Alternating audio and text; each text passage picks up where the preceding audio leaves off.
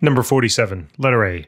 Calculate the height of a cliff if it takes 2.35 seconds for a rock to hit the ground when it is thrown straight up from the cliff with an initial velocity of 8 meters per second. All right, so first thing is let's just kind of sketch a little picture. All right, so you got your little cliff here. As you know, I'm not Picasso, so please don't get disappointed in my drawings. So here's the ball. It's going to be thrown up with an initial velocity.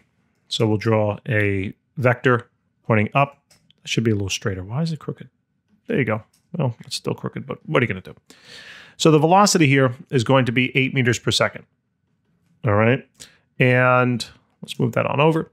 And so if you were to think about the trajectory, right, it's going to go up, up, up, up, up, up, up, and then it's going to come back down. I'm going to curve it up here. Obviously, it's not going to curve like that, but just to give us some perspective. And it's going to travel straight down, and then it's eventually going to hit the ground here, right? Okay. Um, a modern day Bob Ross. Oh my God, I used to love watching that stuff. Man, I was like mesmerized. I still find myself watching it on YouTube sometimes. I have no friends. So, um, what we're going to do is uh, from here, uh, we have the velocity listed and also telling us the time it takes to go from the top of the cliff here, get thrown up, and then go straight down, right? So, the uh, time, we also know the time here. I'll write that in. It's going to be 2.35 seconds. We also know the initial velocity. Essentially, right, this is going to be the initial velocity. Um, it's going to be 8.00 meters per second. The zeros don't do anything in terms of your calculations, but in terms of the the uh, significant figures at the end that will influence uh, the sig figs. And now what we're looking to do is we're looking to somehow, given that information, uh, we're looking to calculate now the height, you know, of this cliff. We can call that, you know, delta y. You can call it x if you want. It doesn't really matter. The y, the reason why you might call it y is because it's you know in the y direction. Uh, but you can call it x. It doesn't really make a difference. Just don't call me late for dinner. and um, yeah. So again, no friends. Uh, so now what we're going to do is uh, we're going to try to think about, you know, uh, do I know a formula that can find the displacement? Okay. Um, if I know just the initial velocity and just the time. Turns out that we can't. Uh, we need to know one other piece of information. All right. Now this is a little, um, so this is like a free fall problem, right? Now, what you have to know is anytime an object, a ball, whatever whatever it is, um, is in the air, there's it's always experiencing the acceleration due to gravity. And the acceleration due to gravity is negative 9.80 or 8 1. It depends on, you know, whatever. Um, but um, it actually depends upon your height, you know, relative to the core of the Earth, your elevation, essentially. Um, the units are meters per second. The reason why it's negative is because the acceleration due to gravity always points down. All right. So remember, acceleration is a vector. We have to take that direction of the vector into account by including the negative sign in our calculation. Now, can I calculate displacement by just knowing these three variables? And the answer to this is simply uh, yes. All right. So you go searching, you go hunting through these formulas, right? And you want to try to locate one uh, where we can find it out. All right. So essentially, I'm going to use this one right? Right there, number two. All right, it tells me delta x, which stands for displacement. Now remember, displacement is all that is, is just the difference between the initial point and whatever final point. So the way I'm framing this problem is that this is my initial point, and when this ball finally hits the ground, that's my final point. So what's the difference in height between these two? That's known as the displacement. All right. So this is going to be delta x is going to be, or just call it x. It doesn't really make a difference um, you know, uh, is going to equal the initial velocity times time plus one half times the acceleration times time squared. So plug in what you know, right? So the initial velocity, it's positive, by the way, because it's pointing up. So that's positive 8 times the time of 2.35 seconds, plus then 1 half times the acceleration due to gravity, negative 9.80. If you put in a positive, guess what the answer is going to be? Er. And the time again, so 2.35 seconds. All right. Now, all you got to do, just throw it on into that calculator. All right. So 8 times 2.35, then plus, you know, plus 0.5 times negative 9.8 times then 2.35 squared. And we have a value here of negative now 8.26 meters. Now, the reason why the calculator, uh, the calculator tells us the displacement is negative is because you're starting higher and ending lower, right? So essentially, if this is your start point, you know, right here, you essentially have like a coordinate system, right, with the origin here. And the negative just implies that the final point is somewhere lower than this initial point. All right. When you actually answer the question, though, if it's actually wanting to calculate the height of the cliff, is there any such thing as negative height? You know, Andrew, how tall are you? I'm negative six feet tall. What? It doesn't make any sense, right? You can't have a negative height technically. You cannot. Okay. Either you have some height, either it's either it's some height or it's nothing. Yes. Hopefully, we can all agree on that. The negative sign just means it's like a directional value. It just means that the height here is going to be relative to this starting point. It's downward. We're measuring the height that way, right? But if I started down here and I measured it in the opposite direction, it would have been positive. All right. So essentially, the height is just the absolute value of this number. Now, that's a very long winded discussion for something very simple here. So hopefully, you're still with me. So it's 8.26 meters. And uh, yeah, that's the height. All right. So that's A. Let's take a look at now letter B. Okay. So it says letter B, um, how long would it take to reach the ground, right, if it is thrown straight down with the same speed? Okay, so it's essentially the same problem basically, um, just with one little tweak. Right, so we got our little cliff. Here's the here's the ground, and we know now that the height. I don't know if I'm going to want to use this though, but we know that the height here is going to be about 8.26, you know, meters. Um, the ball now is going to be thrown straight down. Now I'm going to show the ball, you know, over here a little bit. I know it's kind of floating, but uh, you know, I don't want to. Yep. And anyway, it's the height of the cliff. All right. So now it's going to be negative eight meters per second. That's the initial velocity now. The reason why is because it's being thrown down. Okay. It's being thrown down. Yeah. Oh, it's actually funny. My dog just uh, he just laid down. Um, that's the command we use. So, hmm.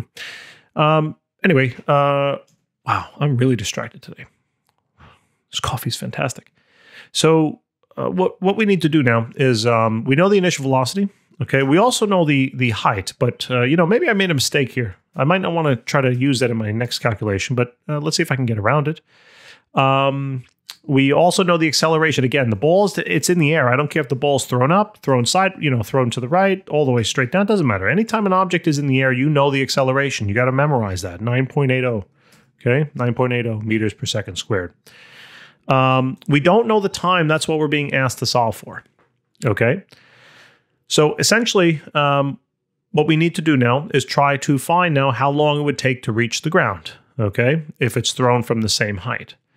Now, it appears to me that um, we're going to need uh, to be able to use this height. So you just want to go back and double check and make sure that you're pretty good on that. I, I know I'm good on it, but um, you know, if, if if you were doing the calculation, you just want to make sure you're you're, you're positive about that answer. Um, what we need to do now is think of okay, so I know my displacement. You got to be careful. Once you start calling this thing, this is a height. Once you start calling it a displacement, you have to plug in the negative sign again. All right, because again, your the frame of your problem is this is the initial point. It's going to hit the ground at some point in time in the future. That's going to be the final point down here. So the height here relative, since it's you're measuring it from top to bottom, it's a negative height. Okay. Again, it just means, you know, it's just a sign. That's it doesn't really mean anything except the sign. Anyway, uh, now I realize I can use actually the same formula. Now, the only thing is, though, it's going to be a quadratic. Okay. And uh, actually, could I use a different? Yeah. Well, so if you want to solve this in one step, you can use this formula. Now, the great part about physics is that there's usually multiple ways to solve the problem. All right. Um, you don't have to do it this way. You could do it in a two step process uh, where first you solve for the final velocity. You're going to actually use equation number, where is it? In number four here.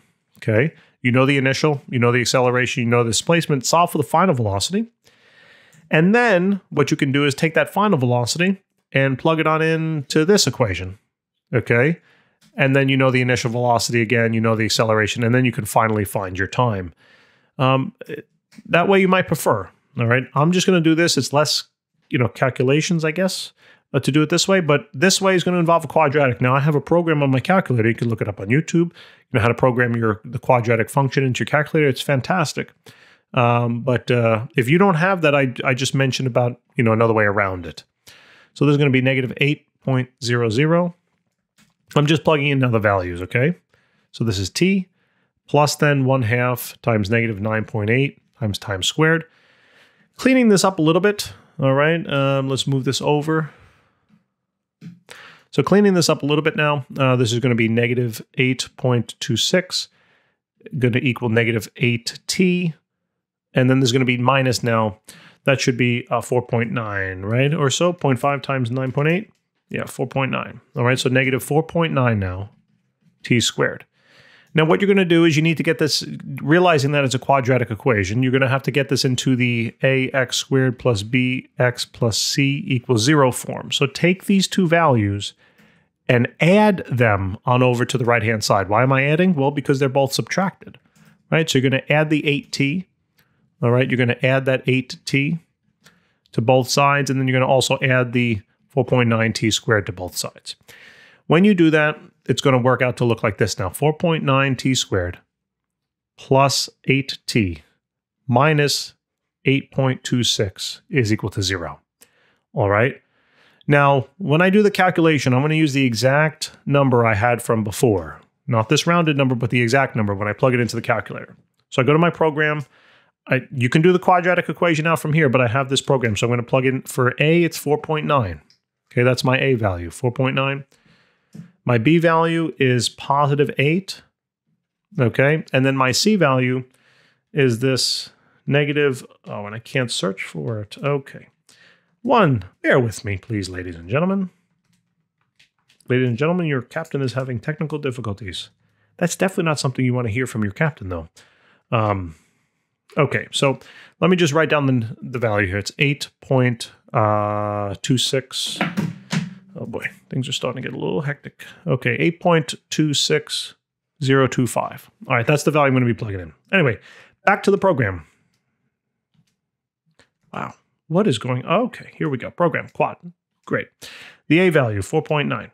B value, 8. C value, negative now 8.26025. 26025 and I enter it. So we get two values. We get a negative 2.35. Oh, that's interesting. Hmm. That's what we found before. Doesn't that's not the answer though for this question, by the way, because it's a negative time. All right. And the other value you get, which is positive, is the 0.717 seconds. Okay. You always take the positive answer uh, when you're doing quadratic. There is a relationship, though. It's not a coincidence. You might say, oh, is that a coincidence? It came out exactly like that time, but just negative. No, it's not a coincidence. It's because this value is negative here and up here this the initial velocity was positive.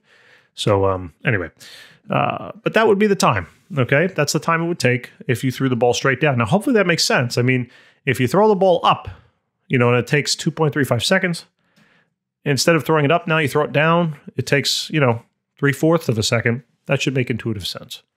But that's how you do it, guys. Thanks for tuning in. If this video helped you out at all, and if you'd like to give us a hand, we'd appreciate it very much. And literally, all you got to do just subscribe, hit the like button, and tell some of your classmates. That's it. Takes literally no time at all, and it allows us to produce more content for you. All right. I will see you soon. Thank you.